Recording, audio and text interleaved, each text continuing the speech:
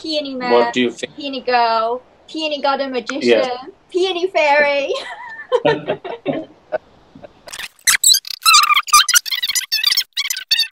we have chosen the the first peony of the month for January. So, um, Billy, Uh-huh. um, you recommended um, Hillary Itoh. Um, could you give us a bit of story of um, of the flower and why you cho- uh, you chose it? Well, I just thought it was it was the good a good one to start with because it's actually been made by the American Peony Society, who handle everything to do with peony. Um, they're in charge these days, and they uh, they chose it as Peony of the Year. Itohs were developed by Professor Itoh in Japan pre Second World War, I think. Um, he worked on them, and then just after the war, he um, he managed to do his his final cross between a tree peony and a herbaceous peony. Anyway, uh, winding forward quite a few years, uh, and this- he died before they ever flowered. But the, the all the um, the plant material and, and information was sent to America uh, uh, by uh, Louis Smirnow. He was a plant hunter and went to Japan and found out about these amazing crosses between a tree peony and a herbaceous peony. Um, so he brought them back to America, and various people, including Don Hollingsworth and Roger Anderson, up in I think he's up in Oregon.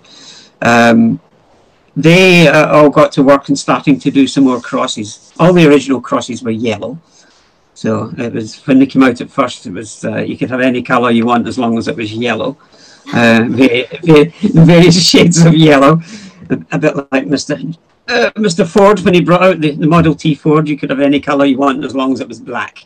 Um, anyway, the, the, anyway, moving on from there, various people at Roger Anderson and uh, Da- David Reath, I think, uh, uh, got involved, and uh, as I said, Don Hollingsworth.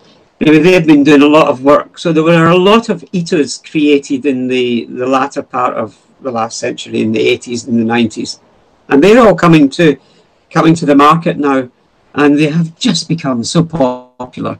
And the reason they're popular is one, because they have so many flowers, they have the beautiful foliage of a tree peony and the flowers of a tree peony, but the habit of a herbaceous peony, and uh, in, because of that, they're, they're also incredibly hardy. Um, so you don't have problems. You have these tree peony flowers, but in abundance. Um, up up to 100 flowers on some plants. Um, so they have become the most popular thing, uh, development in peonies in, in many years. Um, am I babbling on too much? Um, but the other thing is that uh, they, the qualities of them, having so many flowers, being so hardy, um, not needing any form of staking, resistant to deer, resistant to rabbits, um, and the foliage on, on intersectional peonies lasts uh, uh, about a month longer than herbaceous peonies. So they are the perfect peony. And this year we, we launched all our intersectionals on the, online a few weeks ago. And I mean, tonight I had another order in, and it's just, it was something like 15 intersectional peonies they've ordered. Um, Wow. Everybody's going crazy on them. And I'm, I'm glad I overbought on them last year, but uh, there we go.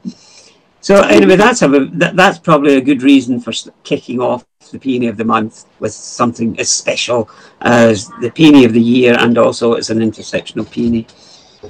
Yeah, and it's like um, from what you said, it's like because it's strong, it has the quality, good qualities of the tree peonies and the herbaceous peonies.